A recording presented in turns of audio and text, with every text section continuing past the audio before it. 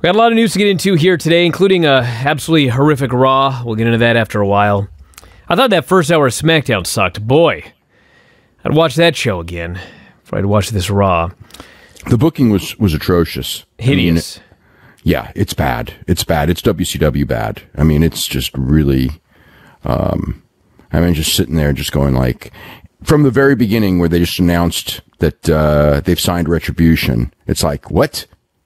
Yeah, and and it went and it went downhill from there. They've signed And- Retribution to contracts, and Retribution's big gripe is that all of these wrestlers want to make money. Yeah. It's like, well, you signed a fucking contract. You signed a contract for no money? But but I mean the other part of it is is that like okay, how do you sign contracts when it's been clear that you're all performance center guys and it's been made clear they already made that clear so they're already under contract. Well, they signed their main roster contracts, Dave. The big money contracts.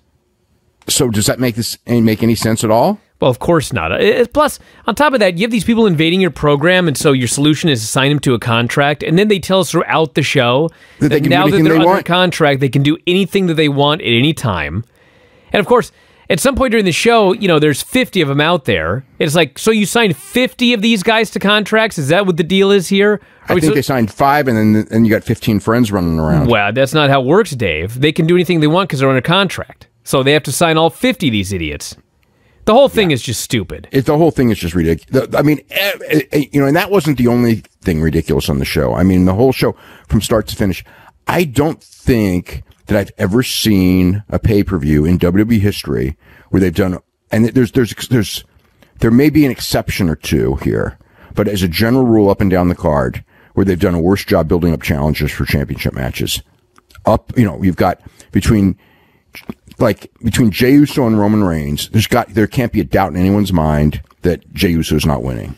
Um, McIntyre and Orton is obviously the exception to that rule, but in the um, the SmackDown Tag Title match, it's it's Lucha House Party who've been essentially jobbers, and you know, and Cesaro just beat Metalik on Friday to make it you know even more seem like jobbers. And he's, you know, they've been beating him regularly, even though they did, they did, and the one time that they did lose, which was, was a fluke caused by the Street Profits, it wasn't even portrayed like they really, you know, they beat him in a non-title match, but it was almost like, you know, they were treated as jobbers the whole match and they, they won when they, due to outside interference.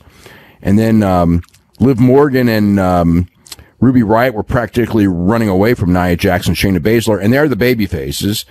And then, um, what's the, the, um, so the, the, Angel um, and Andrade are back together. They're they're back together again with no with no problems after their breakup, and the best part of their act, as far as getting them over, is gone. And then you've got Zelina Vega. So Zelina Vega gets a, a, a championship match by beating Mickie James, who already lost her championship match last week, but if she had won, was going to get a championship match in a match that she was, you know, whatever. And then um, Billie Kay and Peyton Royce were back together after Peyton Royce had turned on Billie Kay after they're split up. And on and on it goes. Um, Seth Rollins and Murphy tagged, although Seth Rollins did walk out on Murphy. And it was just a show of just like completely in, inconsistent storylines, terrible job of, of, of um, making new contenders. And even though this was so minor they never mentioned it, apparently Tozawa was eaten by a shark and is dead. Oh, really? I did not know that. Yes, yes. Wow. what- you, did, did you, you didn't see that skit? I saw the skit. I didn't know he was eaten by a fucking shark. I didn't know he was Yeah, dead. they only found it, they only found his clothes. wow. Well, he could have just gone skinny dipping. No, because he went in. They, we showed him going into the ocean in his clothes, and then R-Truth found his clothes. So his clothes, and they were all torn up, and there was a shark. So Well, was- Dave, this is circumstantial evidence. We have no proof that Tozawa's been eaten by a shark. well, but that was what they wanted you to believe by the fact that. Well, then I better not ever see Tozawa again. Well, I'm sure you will, Then I shouldn't believe that. He found his torn up clothes with no Tozawa. Well, I'm sure there will be an explanation. He he found a friend at the beach. I don't know. That's the least of our worries here. Well, I'm sure murders in the ocean are the least of our worries. Um, but the whole show was a complete. Uh, and, and how about those finishes? Every match that had any length had a shit finish. Well, yeah. And then you had those two minute uh, Raw Underground matches. They spent the whole show building up Braun Strowman and Dabba-Kato, which ended up, I mean, it was about as good as it was going to be, you know, because you can't do that style and go more than like two minutes. And they didn't. They were at about the one minute mark. They were both dead. But, um, I mean, at least they gave you a finish. So the new guy that they spent the time pushing got knocked out cold. So he's dead. That was, that was a great push. There was a DQ for somebody hitting somebody while standing on the apron. I There told really you was. months ago they had that stupid secret rule. And Tom Phillips even spit it out when it happened. The legal man hit the illegal man. That's what, or the illegal man hit the legal man. That's what he screamed when they called for the bell.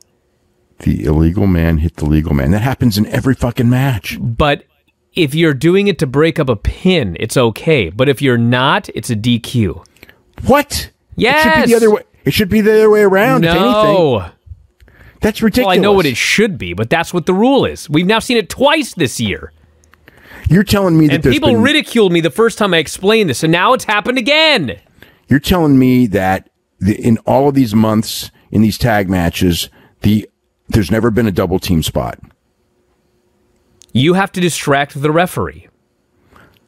They double team in front of the referee. Dude, I don't know. Dave, but that's why this was a DQ. Uh, Tom Phillips flat out said that. And they've done it before with this shitty finish. That was a brutal finish. Yes. That whole there were a lot of brutal finishes, but that was just you know, you build up that thing and then the hurt business are are are heels at the beginning of the show, they're baby faces at the end of the show.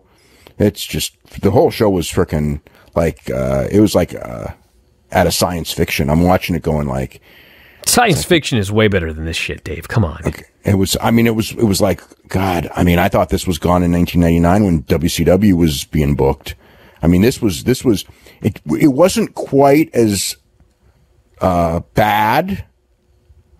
Um it wasn't it wasn't as as completely bad, but it was pretty close. It was horrible.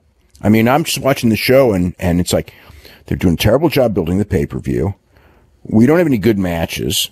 Uh, we have a, a lot of angles, some of which are okay. I thought Seth Rollins was really good tonight. Um, uh, I guess Randy Orton was good. They've they've you know like they've done a number on Keith Lee. Every week it gets worse. Um, I mean, it's just like what, what's he going to do next week? You know,